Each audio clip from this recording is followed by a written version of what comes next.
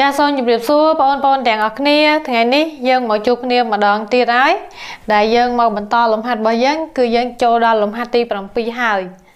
មុននឹងចូលដល់លំហាត់របស់យើងអ្នកគ្រូសូមឲ្យបងជួយចុច Subscribe ម្នាក់មួយផងព្រមទាំងសញ្ញារូបកណ្ដឹងណាឥឡូវយើងចាប់ផ្ដើមមើលមកលំហាត់របស់យើងលំហាត់ទី7លំហាត់ទី7ដែលលំហាត់ទី7គឺស្ថិតនៅក្នុងថ្នាក់ទី9 មេរៀនទី12ទ្រឹស្ដីបទពីតាគូណាឥឡូវយើងអានវិធីលំហាត់ទាំងអស់គ្នាចូលកណនីកម្ពស់នៃកោណដោយរូបខាងក្រោមរួចកណនីមៀតកោណនេះណាតើឥឡូវឥឡូវមុននឹងកណនីអ្នកគ្រូសូមរំលឹកអំពីកោណសិនកាបងមករៀនថ្នាក់ទី7ក៏មានថ្នាក់ទី8ក៏បងមករៀនដែរកោណហ្នឹងណាតើឥឡូវមើលមកកោណ នេះជារូបកោណណាបងអូនកោណកោណមានរាងមានរាងដូចជាអីគេឥឡូវស្រួចនេះឥឡូវនេះវាស្រួចអាក្រោមនេះអាក្រោមនេះបាតបាតវាកូនប្អូនឃើញទេអ្នកបាតឥឡូវអ្នកគ្រូឆោតអ្នកគ្រូឆោតមកបាតវានេះផ្នែកដែលអ្នកគ្រូឆោតនេះគឺបាតណាបាតវាមានរាងជាអីគេបាតវា បាទវាមានរាងជារង្វង់បងប្អូនមើលអ្នកគ្រូគួតឃើញនេះនេះនេះនេះជាកោណបងប្អូនមើលដឹងថាអូមើលទៅវាបាក់មើលទៅរៀងដូចថាវាមិនមែនរង្វង់ណានេះបងប្អូននេះនេះគឺជាកោណឃើញទេបាតកោណនេះបងប្អូនឃើញទេនេះបាតកោណនេះគឺមានរាងជារង្វង់តែនៅពេលដែលបងប្អូនគូរូបនៅពេលដែលបងប្អូនយកអឺកោណនឹងយកទៅគូនៅលើក្តារខៀន អញ្ចឹងបងសង់រូបមកគូរូបវាហ្នឹងបាតរបស់វានៅតែរៀងជារង្វង់ដែរទេគ្រាន់តែថាអាមួយយើងមើលនៅអាមួយនេះគេហៅថាយើងមើលនៅក្នុងអីគេក្នុងលំហមួយយើងមើលនៅក្នុងប្លង់អញ្ចឹងនៅតែបាតវាមានរាងជារង្វង់ដែរទេនេះបងឃើញរង្វង់ហើយបងប្រើការសម័យទៅយើងមើលឆ្ងាយទេសម័យខ្ពស់ទៅនឹងឃើញហើយថាបាតវា មានរាងជារង្វង់តោះណាតោះឥឡូវអានេះគេហៅថាចំណេតណាចំណេត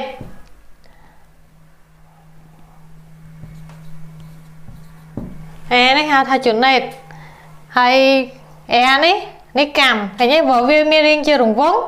ចឹងចម្ងាយពីប៉ុណ្នេះតើចម្ងាយប៉ុណ្នេះគឺស្មើគ្នាស្មើគ្នាណាចឹងហៅថាកម្មចឹងអ្នកគ្រូតាំងដោយ air តោះណា ហនេះគឺជាកម្ពស់នៃកោណអ្នកគ្រូតាំងដោយហេះណាហើយប្រវាយនេះប្រវាយនេះគឺជាកម្ពស់នៃកោណណាកម្ពស់ហ្នឹងគឺវាកែងវាកែងជាមួយនឹងអង្កត់ផ្ចិតណាអ្នកគ្រូហេតុអ្វីបានជាអឺប្រវាយនេះប្រវាយនេះអ្នកគ្រូហៅថាអង្កត់ផ្ចិតដោយសារបាតវាមានរាងជារង្វង់តែកាលណាបាតវាមានរាងជារង្វង់អញ្ចឹងអានេះមិនផ្ចិតអញ្ចឹងហ៎ ចឹងចម្ងាយនេះទៅនេះមិនអីគេអង្កត់អង្កត់ផ្ចិតអញ្ចឹងវាកែងណាកែងកម្ពស់កម្ពស់កោណនេះគឺជាអង្កត់ដែលគូសចេញពីកម្ពូលកែងនឹងបាតហើយញែកជាពីរស្មើគ្នាមានន័យថានេះចម្ងាយពីនេះទៅនេះចម្ងាយពីនេះទៅនេះគឺស្មើគ្នាណាបងតើឥឡូវយើងមើលកោណយើងនិយាយពីផ្ទៃកលាកោណសិន ផ្ទៃកលាខាងកោណផ្ទៃកលាខាងគឺ SL ណាផ្ទៃកលាខាងកោណគឺវាស្មើអីហើយផ្ទៃកលាបាតកោណគឺស្មើអីហើយវេកោណគឺស្មើអី SL គឺផ្ទៃក្រឡាខាង SB គឺផ្ទៃកលាបាត វេគឺមៀតមៀតកោណមៀតមានន័យថាផ្ទៃខាងក្នុងនេះសាច់ផ្ទៃខាងក្នុងទាំងអស់ហ្នឹងគេហៅថាមៀតតោះណាតោះឥឡូវយើងមើលរូបមន្ត SL សិនណា SL ហ្នឹងគឺផ្ទៃកន្លាខាងផ្ទៃកន្លាខាងគឺស្មើនឹងបងយកផាយ air a a ហ្នឹងគឺជាចំណេតណាចំណេតហ្នឹងជ្រុងដែលត្រេតតោះណាជ្រុងត្រេតហ្នឹងអញ្ចឹងហៅថាចំណេត អញ្ចឹង SL ស្មើនឹងផាយ air ហើយ SB ផ្ទៃកន្លាបាតនេះបាតដែលអ្នកគ្រូឆោតនេះអញ្ចឹងបាតវាមានរាងជារង្វង់អញ្ចឹងផ្ទៃកលារង្វង់កាលពីថ្នាក់ទី7យើងរៀនហើយផ្ទៃកលារង្វង់ S ស្មើនឹងផាយ A A ការ៉េនេះគឺជាផ្ទៃកលារង្វង់តឥឡូវយើងកណនាផ្ទៃកលាបាតរបស់កោណហើយបាតវាមានរាងជារង្វង់អញ្ចឹងមានន័យថា SB វាគឺស្មើនឹងផាយ A A ការ៉េតោះណា ឥឡូវ y y វាស្មើគេ y វាគឺមានពាក្យថា1លើ3 y វាស្មើនឹង1លើ3 SB គុណហេះមានន័យថា1ភាគ3គុណឲ្យផ្ទៃកលាបាតគុណនឹងកម្ពស់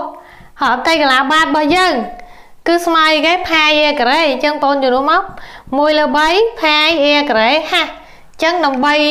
រមមៀតកោនឃើញបងគ្រាន់តែយកកម្មលើជាការ៉េគុណនឹងកម្ពស់ហើយគុណជាមួយផាយចែកជា3វានឹងឃើញមៀតកោនហើយ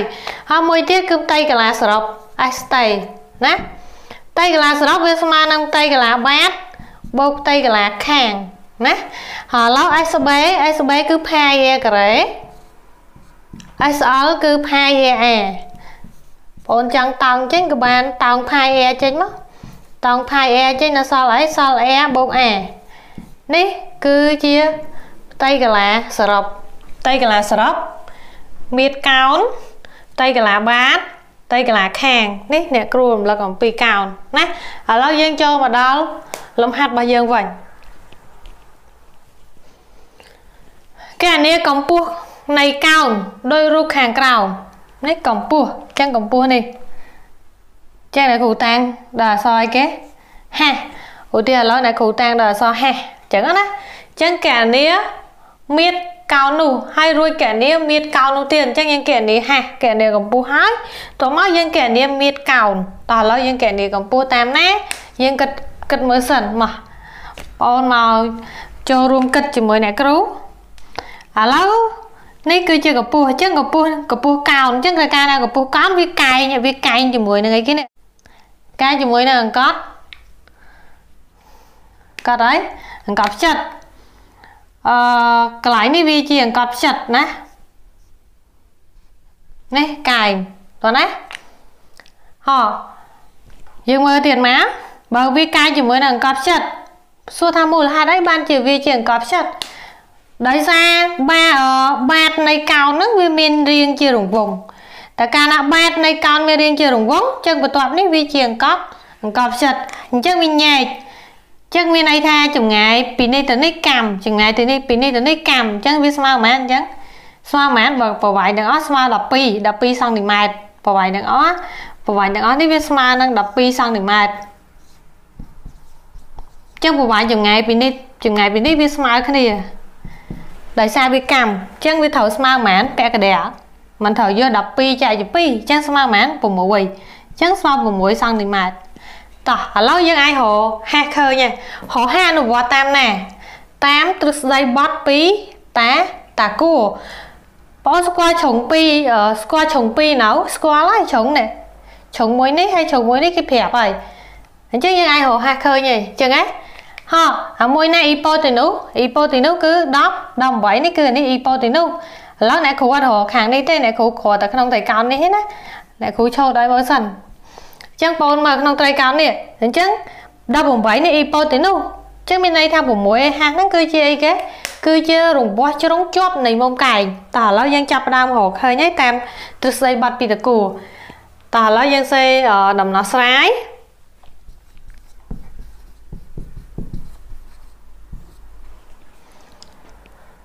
កណនីកម្ពស់នៃកោណ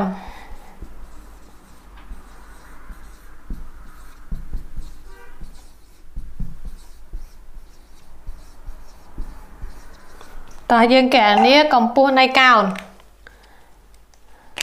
តើយើងស្អីមកអឺក្នុងត្រីកោណកែងក្នុង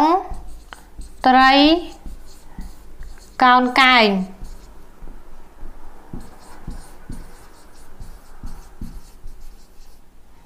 អត់មានឈ្មោះយើងយើងមិនដែរតោះយើងអនុវត្តតាមទស្សនីយប័ណ្ណពីតកួអនុវត្តតាមទ្រឹស្ដីប័ណ្ណពីតកួតោះអ៊ីប៉ូទីនោះលេខការ៉េមានរង្វាស់ស្មើនឹងអីគេផលបូកការ៉េនៃជ្រុងជាប់មុំកែង តោះបងទៅសេអ៊ីប៉ូទីនូឲ្យអ្នកគ្រូមកអ៊ីប៉ូទីនូអីគេអ៊ីប៉ូទីនូ18អញ្ចឹង18លើកជាការ៉េស្មើនឹងស្មើនឹងជ្រុងជាប់មុខកាយ2ទៀត6ហាស់អញ្ចឹងបងយកវាបូកចូលគ្នាមក6ការ៉េបូកហាស់ការ៉េហាស់ការ៉េ6ការ៉េដូចគ្នាណាតោះឥឡូវយើងចាប់ដើមពលិតការ៉េហ្នឹងតោះឥឡូវ18ការ៉េនេះវាស្មើនឹង18គុណឲ្យ18ពីរដងតោះឥឡូវយើងគុណ18 con nông cả priêng tới chứ nè chẳng bảy bảy đó học buồn xe lên buồn theo bộ mũi bảy đó bảy bảy bộ mũi mán đọc buồn mùi bảy đó bảy mùi mà đó mùi buồn pí ta mùi bảy bảy ở 24 nè chẳng biết sao bảy ở 24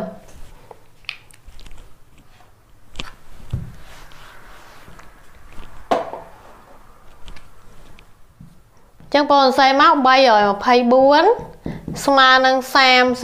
36បូកហាស់ការ៉េ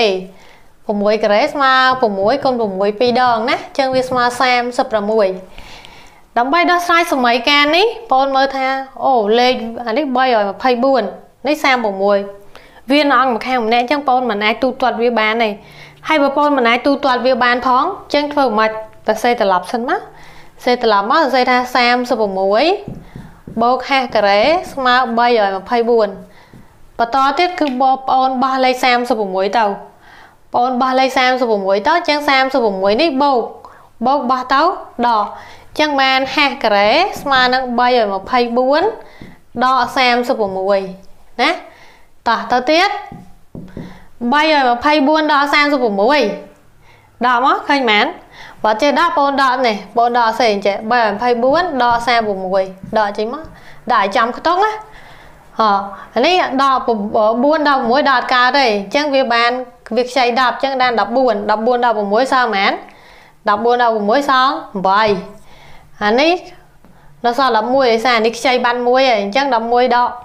3សល់ប៉ុន្មាន11ដក3សល់សល់8អានេះសល់សល់12ឯងអញ្ចឹង2តម្លាក់ចុះអញ្ចឹងចម្លើយឃើញ288ណាតោះតទៀតបាត់ក្រេគឺបំពាក់រឹសបាត់ក្រេបំពាក់រឹសណាឬ288អត់មានអីដែលលើជាការ៉េស្មើ288អញ្ចឹងយើងត្រូវបំលែង288ហ្នឹងបំលែងរបៀបបាច់បំលែងជិះណា144គុណ2 144គុណ2ស្មើ288វិញចឹងអ្នកគ្រូព្រមដាក់គុណ3 គុណ3មិនបើគុណ3លើសហើយវាមិនស្មើ288តោះតទៀត144នេះបងទៅសេថា12ការ៉េហើយគុណ2បងនៅសេ2សេដែរមកគុណ2បន្តទៀតគឺ12ការ៉េក្នុងរឹសនេះវាចេញរួចហើយអញ្ចឹងចេញបាន12ហើយជាប់រឹសជាប់2ក្នុងនេះអញ្ចឹងឲ្យកម្ពស់ឃើញហើយអញ្ចឹងដូច្នេះកម្ពស់កោណគឺហាស់ ស្មើនឹង12ឬ2ຂະຫນາດវាសង់ទីម៉ែត្រអញ្ចឹងសង់ទីម៉ែត្រណាអញ្ចឹងកម្ពស់កោណហាស់ស្មើនឹង12ឬ2សង់ទីម៉ែត្រតើឥឡូវយើងចូលមកដល់អីគេវិញម្ដងគឺមៀតកោណតើឥឡូវយើងកណនាមៀតកោណឥឡូវអ្នកគ្រូបង្ហាញនៅខាងនេះបន្តិចអឺមៀតកោណវេវាស្មើនឹង1ភាគ3អឺកលាផ្ទៃបាតគុណជាមួយនឹងកម្ពស់អញ្ ចឹង1ភាគ3បាតវាមានរាងជា បាតវាមានរាងជាអីគេមិនអ្នកគ្រូបង្ហាញហើយហ៎បាតវា បាតកោណមានរាងជារង្វង់នេះបងឃើញទេណាឥឡូវអ្នកគ្រូបង្ហាញបងនៅក្នុងថ្ងៃនេះបងត្រូវឲ្យចាំថានៅពេលដែលគ្រូឬក៏បងគូរូបឃើញឃើញរូបកោណនៅក្នុងក្តារខៀនហ្នឹងឬក៏ក្នុងសភៅបងត្រូវដឹងថាកោណបាតកោណមានរាងជារង្វង់ដោយសារអ្នកគ្រូបង្ហាញហើយអញ្ចឹងអារូបដែលយើងមើលទៅមើល មើលអញ្ចឹងទៅឃើញច្បាស់ហ្មងថារៀងជារង្វង់ក៏ប៉ុន្តែបើថាគូនៅលើក្តារខៀនឬគូនៅក្នុងសភៅវាបាក់មើលបន្តិចគ្រាន់តែថាបងត្រូវប្រើក្តីសម័យឲ្យចេញជារង្វង់អាហ្នឹងណាតោះឥឡូវ SB គឺផ្ទៃកណ្ដាលរង្វង់គឺផាយ a ការ៉េហើយគុណនឹងហាស់អញ្ចឹងដើម្បីកណនាមៀតមៀតកោណបាន តើតែបងអូនយកកម្មលើកជាការ៉េហើយគុណជាមួយនឹងកម្ពស់ហើយគុណជាមួយផាយឃើញចម្លើយបានចែកមួយ3បន្ទាប់មកគឺឃើញមៀតវាណាតើឥឡូវយើងមកចាប់ផ្ដើមរកមៀតទាំងអស់គ្នានៅខាងនេះ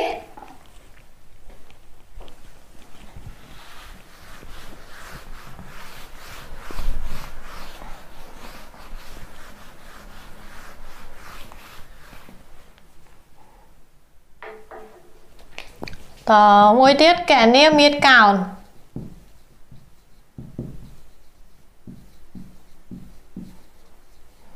តោះតាមរូបមន្ត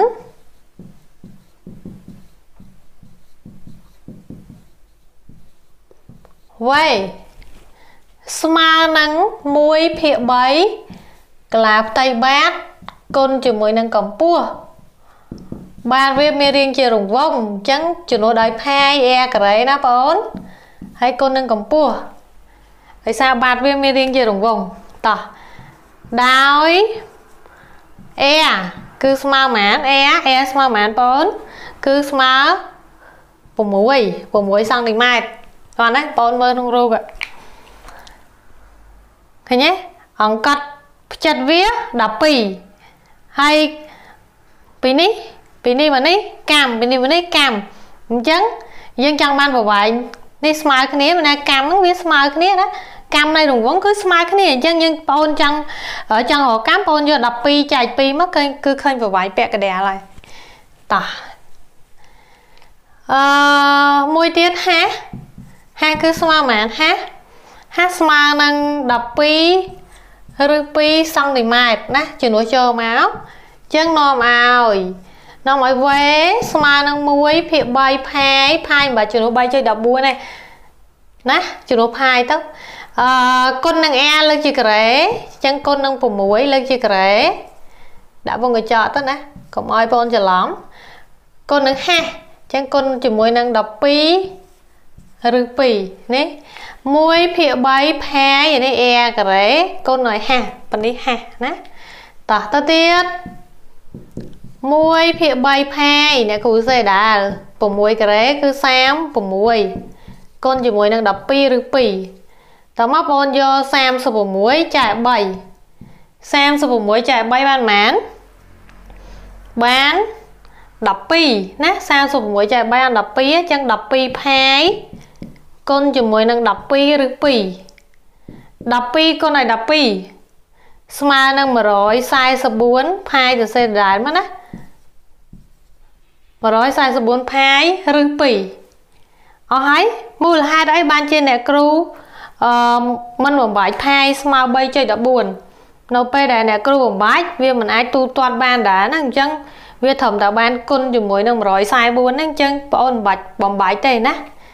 ຂະຫນາດវាដោយសារវាមៀតអញ្ចឹងសង់ទីម៉ែត្រគូបណាដូច្នេះមៀតកោន គឺស្មើនឹង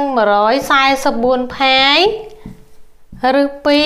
2សង់ទីម៉ែត្រគូប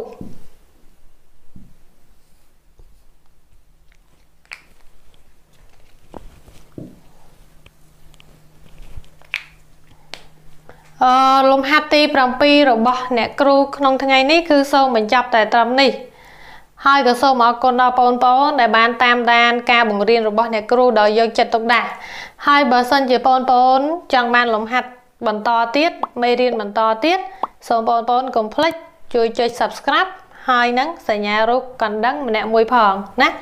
ចាសូមអរគុណបាយបាយ